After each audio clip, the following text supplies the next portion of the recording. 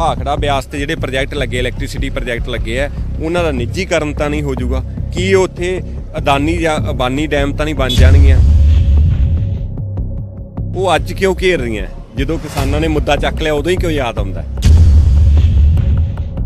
ਅਸੀਂ ਆਮ ਲੋਕ ਆ ਸਾਨੂੰ ਉਦੋਂ ਗੱਲ ਪਤਾ ਲੱਗਣੀ ਹੈ ਜਦੋਂ ਸਾਰਾ ਕੁਝ ਪਾਸ ਹੋ ਗਿਆ ਉਦੋਂ ਸਾਡੇ ਕੋਲੇ ਆਉਣਾ ਹੈ। ਜਿਵੇਂ ਕਿਸਾਨੀ ਅੰਦੋਲਨ ਦੀ ਲੈ ਲਈ ਕੋਈ ਆਪ ਵਾਲਾ ਕਹਿ ਰਿਹਾ ਵੀ ਅਸੀਂ ਬੜੀ ਸੇਵਾ ਕੀਤੀ ਕੋਈ ਕਾਂਗਰਸ ਕਹਿ ਰਹੀ ਹੈ ਅਸੀਂ ਉੱਥੇ ਬੜੀ ਸੇਵਾ ਕੀਤੀ ਹਰ ਪਾਰਟੀ ਉੱਥੇ ਕਹਿ ਰਹੀ ਹੈ ਵੀ ਅਸੀਂ ਕਿਸਾਨਾਂ ਦੀ ਬਹੁਤ ਸੇਵਾ ਕੀਤੀ। ਸਿਰ ਉੱਤੋਂ ਦੀ ਵਗ ਜਾਂਦਾ ਹੈ, ਉਦੋਂ ਇਹਨਾਂ ਨੂੰ ਜਾਗ ਆਉਂਦੀ ਹੈ ਵੀ ਯਾਰ ਆ ਹੁਣ ਆਹ ਮੁੱਦਾ ਕਿਸਾਨਾਂ ਨੇ ਚੱਕ ਲਿਆ ਇਹ ਆਪਾਂ ਚੱਕ ਲਈਏ। ਇਹ ਬਰਾੜ ਮੌਜੂਦ ਨੇ। ਕਿਸਾਨ ਇਸ ਮੁੱਦੇ ਨੂੰ ਕਿਵੇਂ ਦੇਖਦੇ ਦੇਖੋ ਇਹ ਸਾਡੇ ਹੱਕਾਂ ਤੇ ਡਾਕਾ ਹੈ।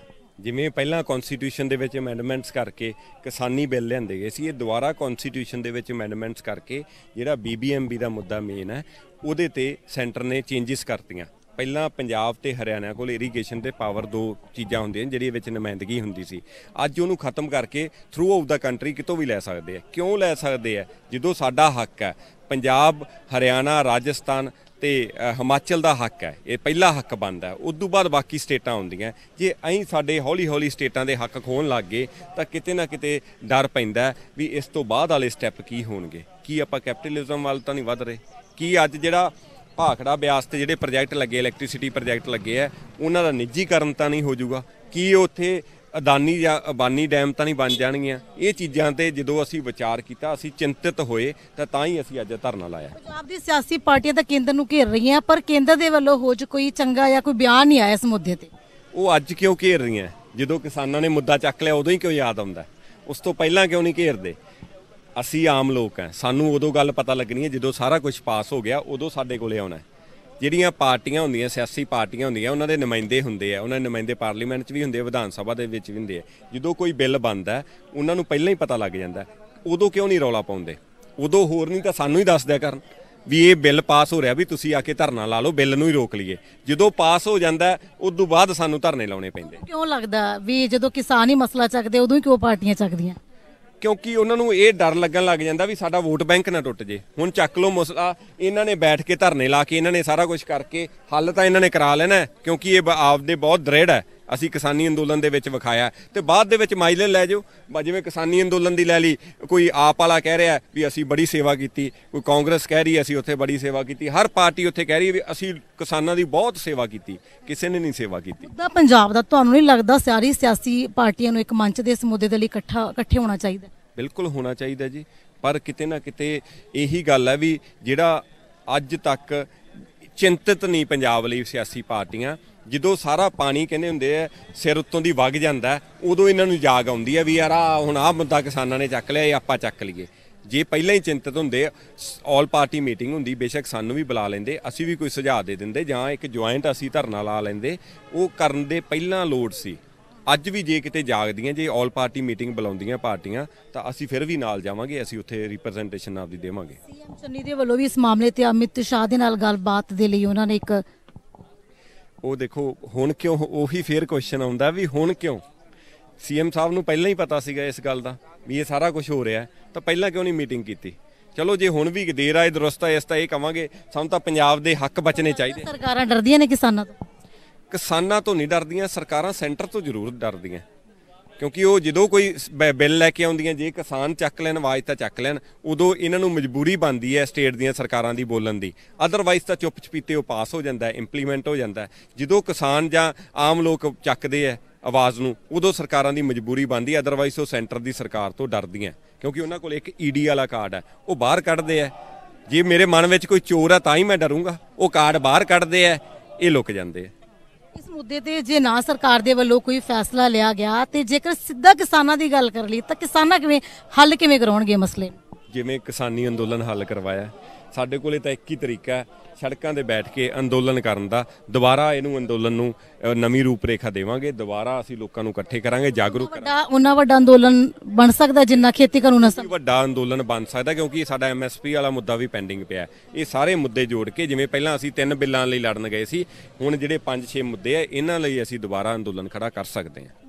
ਸਿੱਖ ਇਤਿਹਾਸ ਵਾਲਾ ਪਏ ਇੱਕ ਸਵਾਲ ਜ਼ਰੂਰ ਲਓ ਬਿਲਕੁਲ, ਸਿੱਖ ਇਤਿਹਾਸ ਵਾਲਾ। ਉਹ ਸਾਡੇ ਇਤਿਹਾਸ ਨਾਲ ਛੇੜਛਾੜ ਕੀਤੀ ਗਈ ਹੈ। ਕਿਉਂ ਕੀਤੀਆਂ ਜਾਂਦੀਆਂ ਇਹ ਛੇੜਛਾੜਾਂ? ਕਿਉਂਕਿ ਸਾਡੀ ਜਿਹੜੀ ਕਮਿੰਗ ਜਨਰੇਸ਼ਨ ਹੈ, ਉਹਨਾਂ ਨੂੰ ਸਹੀ ਪਤਾ ਹੀ ਨਾ ਲੱਗੇ। ਵੀ ਸਿੱਖਾਂ ਦਾ ਇਤਿਹਾਸ ਕੀ ਉੱਥੋਂ ਛੇੜਛਾੜ ਕਰਦੇ ਹੋ? ਸਾਨੂੰ ਤਾਂ ਇਹ ਵੀ ਡਰ ਹੈ ਵੀ ਜੇ ਕਿਸਾਨੀ ਅੰਦੋਲਨ ਦਾ ਇਤਿਹਾਸ ਸਹੀ ਤਰੀਕੇ ਨਾਲ ਨਾ ਲਿਖਿਆ ਗਿਆ ਤਾਂ ਕਿਸੇ ਇਹੋ ਜਿਹੇ ਬੰਦਿਆਂ ਤੋਂ ਇਹਨਾਂ ਨੇ ਇਤਿਹਾਸ ਲਿਆ ਕੇ ਪੈਦਾ ਕਰ ਦੇਣਾ ਕਿਸਾਨਾਂ ਨੂੰ ਹੀ ਉਹਦੇ 'ਚ ਬੁਰੇ ਬਣਾ ਦੇਣਾ ਜਿਤ ਮਾਨ ਨਾਲ ਸਾਡੀ ਗੱਲ ਹੋਈ ਸੀ ਇਸ ਮੁੱਦੇ ਤੇ ਉਹ ਕਹਿੰਦੇ ਵੀ ਸਾਰਾ ਚਾਲ ਹੈ ਕੇਂਦਰ ਦੀ ਕਿ ਸਾਡੇ ਬੱਚੇ ਜਿਹੜੇ ਸਾਡਾ ਇਤਿਹਾਸ ਨਾ ਪੜ ਸਕਣ। ਬਿਲਕੁਲ ਬਿਲਕੁਲ ਦਰੁਸਤ ਗਿਆ ਉਹਨਾਂ ਨੇ ਕਿਉਂਕਿ ਜੇ ਬੱਚੇ ਇਤਿਹਾਸ ਪੜ੍ਹ ਲੈਣਗੇ ਉਹਨਾਂ ਦੇ ਆਪਦੇ ਕੌਮ ਪ੍ਰਤੀ ਪਿਆਰ ਵੱਧ ਜਾਂਦਾ ਹੈ। ਸੋ ਕਿਤੇ ਨਾ ਕਿਤੇ ਉਹ ਪਿਆਰ ਨੂੰ ਤੋੜਨ ਦੀ ਉਹਨਾਂ ਨੂੰ ਗਲਤ ਦਿਸ਼ਾ ਦੇਣ ਦੀ ਵੀ ਤੁਹਾਡੇ ਗੁਰੂਆਂ ਨੇ ਤਾਂ ਇਹ ਨਹੀਂ ਕੀਤਾ। ਤੁਹਾਡੇ ਗੁਰੂਆਂ ਨੇ ਇਹ ਕੀਤਾ ਸੀ ਐਂ ਕੀਤਾ ਸੀ। ਉਹ ਸਾਰਾ ਕੁਝ ਚੇਂਜ ਕਰਨ ਦੀ ਜਿਹੜੀ ਕੋਸ਼ਿਸ਼ ਹੈ ਇਹ ਤੁਹਾਨੂੰ ਲੱਗਦਾ ਇਸ ਪਿੱਛੇ ਵੀ ਕੇਂਦਰ ਦਾ ਹੱਥ ਹੋ ਸਕਦਾ? ਬਿਲਕੁਲ ਰਲੇ ਮਿਲੇ ਆ ਸਭ ਘਿਓ ਖਿਚੜੀ ਹੈ ਜੀ। ਮੈਨੂੰ ਨਹੀਂ ਪਤਾ ਕੇਂਦਰ ਦਾ ਪੰਜਾਬ ਗਵਰਨਮੈਂਟ ਦਾ ਪਰ ਇੱਕ ਗੱਲ ਦੱਸੋ ਜਿਹੜੀ ਬੁੱਕ ਪਬਲਿਸ਼ ਹੋ ਰਹੀ ਹੈ ਉਹ ਪੰਜਾਬ ਦੇ ਸਕੂਲਾਂ ਦੇ ਵਿੱਚ ਆ ਰਹੀ ਹੈ। ਤਾਂ ਕੌਣ ਜ਼ਿੰਮੇਵਾਰ ਆ ਉਹਦਾ? ਪੰਜਾਬ ਦਾ ਜਿਹੜਾ ਸਿੱਖਿਆ ਮੰਤਰੀ ਹੈ ਕੀ ਉਹਦੀ ਜ਼ਿੰਮੇਵਾਰੀ ਨਹੀਂ ਬਣਦੀ? ਕੀ ਉਹਨੂੰ ਪਤਾ ਨਹੀਂਗਾ ਜਿਹੜੇ ਉਹਦੇ ਸੈਕਟਰੀ ਲੱਗੇ ਆ ਕੀ ਉਹਨਾਂ ਦਾ ਜਿਹੜਾ ਡਿਪਾਰਟਮੈਂਟ ਆ ਜਿਹੜਾ ਗੋ ਥਰੂ ਹੁੰਦਾ ਜਿਹੜਾ ਓਕੇ ਕਰਦਾ ਉਹ ਕਿਹਨੇ ਓਕੇ ਕੀਤਾ? ਉਹ ਸਾਰੇ ਲਾਇਬਲ ਆ ਬੰਦੇ। ਅੰਟਲ ਅਨਲੈਸ ਕੋਈ ਨਵੀਂ ਬੁੱਕ ਹੁੰਦੀ ਹੈ ਚੇਂਜਸ ਹੁੰਦੀਆਂ ਉਹਦੇ ਤੇ ਸਾਈਨ ਹੁੰਦੇ ਆ ਸੈਕਟਰੀ ਦੇ। ਉਹ ਜਿਹਨੇ ਸਾਈਨ ਕੀਤੇ ਉਹ ਸਾਰੇ ਬੰਦੇ ਆਨਸਰੇਬਲ ਹੈ ਇਹਦੇ ਲਈ। ਬਰਾੜ ਸਾਹਿਬ ਇਹ ਕੋਈ ਪਹਿਲਾ ਮਾਮਲਾ ਨਹੀਂ ਹੈ। ਇਸ ਤੋਂ ਪਹਿਲਾਂ ਵੀ ਜਿਹੜਾ ਸਿੱਖ ਇਤਿਹਾਸ ਨਾਲ ਛੇੜਛਾੜ ਦਾ ਮਾਮਲਾ ਉੱਠਦਾ ਕਿਉਂ ਨਹੀਂ ਸਮੇਂ-ਸਮੇਂ ਦੀਆਂ ਸਿਆਸੀ ਪਾਰਟੀਆਂ ਜਾਂ ਸਰਕਾਰਾਂ ਇਸ ਵੱਲ ਧਿਆਨ ਦਿੰਦੀਆਂ ਵਾਰ-ਵਾਰ ਕਿਉਂ ਤੁਹਾਨੂੰ ਲੱਗਦਾ ਇਹ ਚੀਜ਼? ਕਿਉਂਕਿ ਸਿੱਖ ਵੰਡੇ ਜਾਂਦੇ ਆ। ਜਦੋਂ ਆਪਦੇ ਕੌਮ ਨੂੰ ਬਚਾਉਣ ਦੀ ਗੱਲ ਆਉਂਦੀ ਹੈ ਆਪਦੇ ਧਰਮ ਨੂੰ ਬਚਾਉਣ ਦੀ ਗੱਲ ਆਉਂਦੀ ਹੈ ਨਾ, ਉਦੋਂ ਅਸੀਂ ਵੰਡੇ ਜਾਂਦੇ ਆ। ਸਾਨੂੰ ਪਾਰਟੀਆਂ ਦੇ ਵਿੱਚ ਵੰਡਿਆ ਜਾਂਦਾ ਸਾਨੂੰ ਸਾਡੇ ਕਿੱਤੇ ਦੇ ਹਿਸਾਬ ਤੇ ਵੰਡਿਆ ਜਾਂਦਾ ਵੀ ਤੁਸੀਂ ਤਾਂ ਐਸ ਬਰਾਦਰੀ ਨੂੰ ਬਿਲੋਂਗ ਕਰਦੇ, ਤੁਸੀਂ ਤਾਂ ਜੱਟ ਸਿੱਖ ਹੈ, ਤੁਸੀਂ ਰਾਮਗੜੀਆ ਸਿੱਖ ਹੈ, ਤੁਸੀਂ ਅਲੱਗ-ਅਲੱਗ ਸਿੱਖਾਂ ਨੂੰ ਵੰਡਿਆ ਜਾਂਦਾ ਵੰਡ ਕੇ ਹੀ ਸਾਡੇ ਤੇ ਰਾਜ ਹੋ ਸਕਿਆ ਵੈਸੇ ਜੇ ਸਿੱਖ ਇਕੱਠੇ ਹੋ ਜਾਣ, ਸਿੱਖਾਂ ਤੇ ਆਪਦਾ ਉਹ ਕਹਿੰਦੇ ਹੁੰਦੇ ਆ, ਵਧੀਆ ਇੱਥੇ ਲੋਕਾਂ ਦਾ ਜਿਹੜੇ ਚ- ਚੁਣੇ ਹੋਏ ਚੰਗੇ ਨੁਮਾਇੰਦੇ ਉਹ ਭੇਜ ਸਕਦੇ ਆ ਵਿਧਾਨ ਸਭਾ ਦੇ ਵਿੱਚ ਪਰ ਉਹਦੇ ਲਈ ਇਕੱਠੇ ਹੋਣਾ ਪੈਣਾ ਸਿੱਖਾਂ ਨੂੰ। ਆਖਰੀ ਸਵਾਲ ਕਰੂੰਗੀ ਯੂਕਰੇਨ ਤੇ ਰੂਸ ਦੀ ਜਿਹੜੀ ਜੰਗ ਲੱਗੀ ਹੈ ਕੇਂਦਰ ਸਰਕਾਰ ਹਾਲਾਂਕਿ ਕਹਿ ਰਹੀ ਹੈ ਕਿ ਸਾਡੇ ਵੱਲੋਂ ਸਹਿਯੋਗ ਦਿੱਤਾ ਜਾ ਰਿਹਾ। ਤੁਹਾਨੂੰ ਕੀ ਲੱਗਦਾ ਪੰਜਾਬ ਸਰਕਾਰ ਕੁਝ ਕਰ ਸਕਦੀ ਹੈ ਜਾਂ ਸਾਡੀ ਕੌਮ ਕੁਝ ਕਰ ਸਕਦੀ ਹੈ? ਬਿਲਕੁਲ ਕਰ ਸਕਦੀ ਹੈ ਪੰਜਾਬ ਸਰਕਾਰ ਇਹ ਕਰ ਸਕਦੀ ਹੈ ਜਿਹੜੇ ਬੱਚੇ ਸਾਡੇ ਉੱਥੋਂ ਵਾਪਸ ਆ ਰਹੇ ਆ ਉਹ ਇੱਕ ਮੈਂਟਲ ਟਰਾਮਾ ਦੇ ਵਿੱਚ ਹੈ ਉਹਦੇ ਵਿੱਚੋਂ ਗੁਜ਼ਰ ਕੇ ਆਏ ਆ ਹੁਣ ਅਗਲਾ ਟਰਾਮਾ ਉਹਨਾਂ ਤੇ ਇਹ ਨਾ ਪਾ ਦੇਣ ਵੀ ਇੱਥੇ ਆ ਕੇ ਉਹਨਾਂ ਨੂੰ ਪੜ੍ਹਾਈ ਜਿਹੜੀ ਉਹ 2 ਸਾਲਾਂ ਦੀ ਕਰਕੇ ਆਏ ਉਹ ਖਾਰਜੀ ਹੋ ਜੇ। ਦੁਬਾਰਾ ਸਿਰੇ ਤੋਂ ਕਰਨੀ ਪਵੇ ਜਾਂ ਉਹਨਾਂ ਨੇ ਜਿਹੜੇ ਲੋਨ ਲਏ ਆ 20 20 25 ਲੱਖ ਰੁਪਈਆ ਉਹਨਾਂ ਨੂੰ ਭਰਨੇ ਪੈ ਜਾਣ। ਸਰਕਾਰ ਨੂੰ ਲੋਨ ਭਰਨੇ ਚਾਹੀਦੇ ਆ। ਸਰਕਾਰ ਨੂੰ ਉਹਨਾਂ ਦੀ ਐਜੂਕੇਸ਼ਨ ਇੱਥੇ ਕੰਟੀਨਿਊ ਕਰਨੀ ਚਾਹੀਦੀ ਹੈ। ਜਿੰਨੇ ਆਪਣੇ ਗਵਰਨਮੈਂਟ ਜਿਹੜੇ ਹੈਗੇ ਆ ਉਹਦੇ ਵਿੱਚ ਉਹਨਾਂ ਨੂੰ ਫ੍ਰੀ ਐਜੂਕੇਸ਼ਨ ਦੇਣੀ ਚਾਹੀਦੀ ਹੈ। ਨਾਲ ਹੀ ਉਹ ਬੱਚਿਆਂ ਦਾ ਜਿੰਨਾ ਖਰਚਾ ਹੋ ਚੁੱਕਿਆ ਉੱਥੇ ਉਹ ਸਾਰਾ ਸਰਕਾਰ ਨੂੰ ਉਹਦੀ ਭਰਪਾਈ ਕਰਨੀ ਚਾਹੀਦੀ ਹੈ। ਸਵਾਲ ਤਾਂ ਇੱਥੇ ਹੀ ਹੈ ਨਾ ਵੀ ਲੋੜ ਕਿਉਂ ਪੈਂਦੀ ਹੈ ਹਨਾ ਬਾਹਰਲੇ ਮੁਲਕਾਂ 'ਚ ਜਾਣ ਲੋੜ ਉਦੋਂ ਪੈਂਦੀ ਹੈ ਜੀ ਜਦੋਂ ਆਪਣੇ ਕੋਲ ਉਹ ਸਹੂਲਤਾਂ ਨਹੀਂ ਮਿਲਦੀਆਂ। ਜਦੋਂ ਆਪਣੇ ਵਿੱਚ ਕਹਿ- ਇੱਥੇ ਕਹਿ ਲਓ ਵੀ ਜਿਹੜੀ ਪੜ੍ਹਾਈ ਇੱਥੇ ਅੱਜ ਕਰੋੜ ਰੁਪਏ ਦੀ ਹੋ ਰਹੀ ਹੈ, ਉੱਥੇ 25 ਲੱਖ ਦੀ ਹੋ ਰਹੀ ਹੈ। ਉਹ ਆਪਣੇ ਜਿਹੜੀਆਂ ਪਾਲਿਸੀਜ਼ ਬਣੀਆਂ, ਉਹਨਾਂ ਵਿੱਚ ਕਮੀ ਹੈ, ਤਾਂ ਲੋੜ ਪੈਂਦੀ ਹੈ, ਜਾਣ ਦੀ ਨਹੀਂ, ਕਿਸੇ ਦਾ ਦਿਲ ਨਹੀਂ ਕਰਦਾ ਆਪਦੇ ਪਰਿਵਾਰ ਨੂੰ ਛੱਡ ਕੇ, ਜਾਂ ਆਪਦੇ ਕਹਿੰਦੇ ਬੱਚੇ ਸਰੀਰ ਦਾ ਅੰਗ ਹੁੰਦੇ ਆ, ਉਹਨਾਂ ਨੂੰ ਭੇਜ ਕੇ ਅੱਜ ਉਹਨਾਂ ਮਾਤਾਵਾਂ ਨੂੰ ਪੁੱਛੋ, ਉਹਨਾਂ ਪਿਤਾ ਨੂੰ ਪੁੱਛੋ, ਜਿਨ੍ਹਾਂ ਦੇ ਬੱਚੇ ਅੱਜ ਵੀ ਫਸੇ ਪਏ ਆ ਮੇਰੇ ਨਾਲ ਦਿਨ ਦੇ 20 20 25 30 ਦੀ ਮਾ- ਮਾਪਿਆਂ ਨਾਲ ਗੱਲ ਹੁੰਦੀ ਹੈ।